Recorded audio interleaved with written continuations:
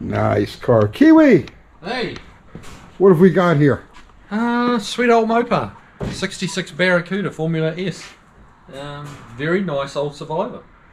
Absolutely. Can't say it's unmolested because it's had a few changes, but you Minor it's, ones? It's, it's minor ones. It's pretty original. It's pretty original. And you just you just walk up on it and jump in it, and it's like this is nice. This is nice. So it's a 66 Formula S, which is the high performance version of the CUDA, the Barracuda. It was, they didn't call it a CUDA until 69, but Formula S. It's got the 235 horse 273 Commando. And this is all, oh, we'll talk about that in a second. Looks like it's a, a one repaint kind of car. I think it's been touched up. I don't know Been that it's had up? a full paint. It doesn't appear to have the roof's original paint from what I can see, but it's had a bunch of touch-ups around it. Um, so you know, it's, it's 60 years old. Four speed. Uh, The, the infamous inland shifter. But look at the upholstery. The upholstery, you know, like those seats, like Oh, yeah. Nice car, and you can see it's used. It's got a baby seat in the back. This isn't this isn't like a pampered princess. The car actually goes he, out, He drives it quite a lot. and it's for sale. But we'll talk about that in a minute. So yeah, it's a it's a really nice survivor car, and it's rare. But it's not rare because they didn't build many of them. It's rare because not many of these cars survived the day two period. So the 273, the Commando motor, uh, was available both in the Dart and the Barracuda. Very nice package, 235 horse for the four barrel, and the four speed was just a it was a no cost option on these cars on high performance 273s. But unlike the Fords and the Chevys, like the, the small, the 283 and 327 Novas, or, or Chevy 2s, the uh, the Mustangs, the 271 horse 289s, and the uh, like the GT 350s, those cars were always loved. Like even post muscle car era, when you got into the day two period, day two meaning the early 1970s until like ear- the early 1980s when the collector thing really started to catch on. When people were taking these cars and hot rodding. Well, the A bodies, the high performance A bodies, the early ones, didn't survive. A lot of these cars were just stripped of whatever valuable high performance parts they may have and left for dead. And I remember the junkyards being full of these things, like you could trip over them. And this was back during the days when you could still find roadrunners and chargers and whatnot in the junkyards. People had interest in those cars, but they didn't have interest in these early A's. And I'll, show you the reason why in, in, in a second. So, I'll show you right now. These cars are based on the 1960 Valiant. And when that car was introduced, when the Valiant was introduced, it was supposed to be a slant six powered car. The slant six was developed specifically for that 1960 Valiant. 1961 Dodge got its version, the Lancer. The Dart was still a full size car at that point. And then they got a re a restyling in 1963, but still slant six only. There was no V8 that was intended to fit in these cars. Back then, the small the smallest V8, physically smallest V8, was the Polysphere, which actually is one right here. That's an A motor. 64, they they released the 273. So the 273 is the same bottom end as a poly head, but it's got the wedge cylinder heads, and later became the 318 and the, the 340 and the 360. But it started in 64 with the 273. Now, before the restyling for 1967, these cars all maintained the same dimensions as the 1960 Valiant. So to fit a V8 into these cars, it's a cramped fit. The distance to the firewall, now they actually had to come up with a, a unique firewall beginning in 64 to clear the distributor on the small block. If you look at the way the exhaust is on these, putting a set of headers or even really a, a very efficient manifold on here is nearly impossible because you've got the oil filter, I don't know, the light isn't very good here. You got the oil filter there and there's no room between the torsion bar and the body of the car to sneak the exhaust through. That's on the passenger side. On the driver's side, things really get tight because you've got the steering box under there, and then way back here, if you could see the back of the exhaust manifold, you can just barely see it sneaking through there, facing to the back of the car. That's a trip. That exhaust manifold is massive. Yeah. You know, just such a lot of it to get it out. But that was the only way that they could fit a V8 in here. It was it's really jammed in. Now on top of that, underneath the car, there's no provision for dual exhaust.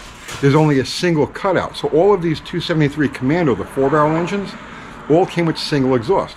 But it was a unique single exhaust because it didn't have like a, a pedestrian sort of Y pipe, you know, something that was just kind of abrupt.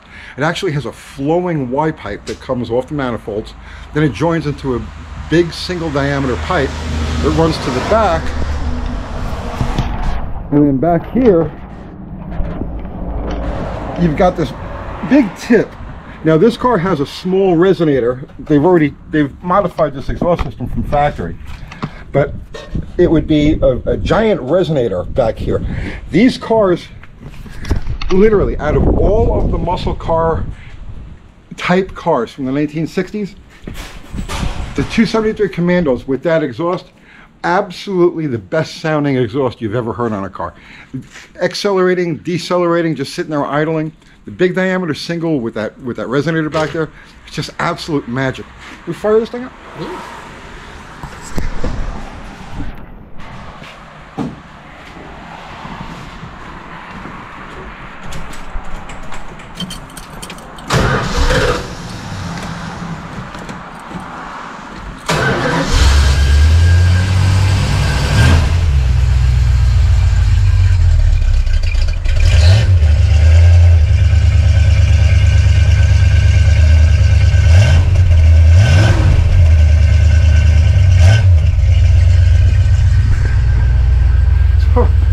Yeah. So this is actually quieter than stock. The original exhaust on this with the original resonator was significantly louder than that, but you can hear the tone. It's just so right. These cars didn't, they, they just didn't have the street cred because they weren't easy to modify like the Fords and the Chevys were. You couldn't just easily throw headers in there. You couldn't easily just, uh, you know, dual exhaust. They were handicapped with a seven and a quarter rear. The biggest rear you can get in these things was the seven and a quarter which when everything is stock and with the four speed, I mean, it's marginal at best. Um, once you start actually stepping on it, no, no bueno. And then the tiny wheel openings, which is the biggest handicap of these first generation Barracudas. So you can see the wheel opening on this, very small. And kind of weird looking. There's, there's more quarter panel than there is wheel opening when you look at the Mustang from the same era, which is ironically the same color, you see I have a whole different treatment back here with the rounded wheel opening and not much space between the top of the wheel opening and the top of the quarter. So it definitely has a sleeker, more muscular look, where this is kind of uh, ungainly? I don't know. What's the word you would, you would use for that? Homely? Homely. Homely. Homely. Yeah, you know, it kind of looks like a fish. it looks a little bit like a fish. But it's, oh, I mean, it's a nice car. Mm. Even just the, the, wheel trims. The wheel trims are, gorgeous. What I was looking at, like How all the little details. Like finding those a full set that's not all curved up. And this is the factory dress up on the engine. So the 273 was introduced in 1964, uh, only as a two-barrel. In 1965, they released this Commando version of it. So this has got 10 and a quarter month compression. It's got the same cam that they used in the later 340s. Um, it's got closed chamber cylinder heads. These are still solid lifted. They didn't go to hydraulic lifter until the next year. This is the stock factory chrome air cleaner. They had 500 CFM uh, Edelbrock, I don't know, not Edelbrock, AFBs. I don't yeah, know. That's got a 600. This is a 600. Okay. Yeah. And that's the uh, that's the way they all look right from the factory. Just beautiful, beautiful engines, but a real bitch to work on. You know, if you wanted to, you want to throw something a little bit bigger in there, there's just no room for the exhaust. Now, when Chrysler redesigned the overall A-body package for 1967, what they did was they widened the frame rails two inches. So frame rails are two inches wider apart from each other. They're the exact same frame rails, but they're wider. And they moved the firewall back two inches. So, and that was for the 1967 cars. Here, actually,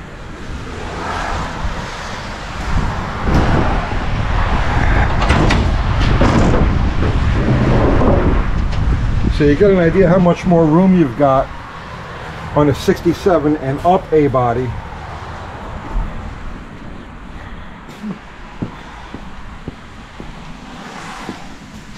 Compared to this. Yeah, the firewall is quite different, isn't it? Oh yeah. Yeah. The original firewall for this body that started again in, in 1960, 1963 to, to this configuration had a, a, a like a bulge right here that you literally couldn't drop a small block into this unless you hammered it flat. So in 1864, when they released the, the 273, they revised this part of the firewall to actually give you room for a distributor. But that's what makes this car rare. It's it's not that it was extremely low production or hard to buy. There were a lot of these out on the street back in the day. But like I says, when you got to the to a point where they weren't, they were no longer like regular cars, and they fell into that day two period where people were hot rodding them and so on and so forth. Nobody really saved these. Nobody wanted to deal with them because they were very hard to work with. You had the fragile rear end and the styling only a Mopar guy could love. And, and even if you're a Mopar guy, you know, they're still they're a, they're a little weird. They're a little weird. And these these inland shifters didn't help either. So in, in uh, when Chrysler first introduced the 833 four-speed in 1964, it was available in the A-body and behind every engine. You can get it with the four-speed behind a, a 170 slant 6, a 225, or the 273. They used a Hurst shifter. They used a really nice Hurst Competition Plus shifter. And then in 65, they cheaped out and they went with this inland Gesa gear. Yeah, the Gesa gear. But you being a Ford guy, you would you would recognize that. Yeah, yeah, yeah. Actually, I'm not familiar with that term, though, but that's pretty good. So, yeah, I, I wanted to just show you guys this car because I mean it, it is a real nice survivor, and you just don't see them like this. Very nice, very nice car. So Kiwi, what are you doing to this thing? Uh, we've got a few little things, um, just really, for the most part, just routine maintenance, just a little tune-up. Um, we're changing the brake master cylinder out because it's, it's got the later model one with the plastic reservoir, which which he doesn't like the look of, and the caps are leaking. You know, we've got fluid around here and it's splashing up here. Yeah, this um, was originally a single pot, yeah. and then they converted to this later.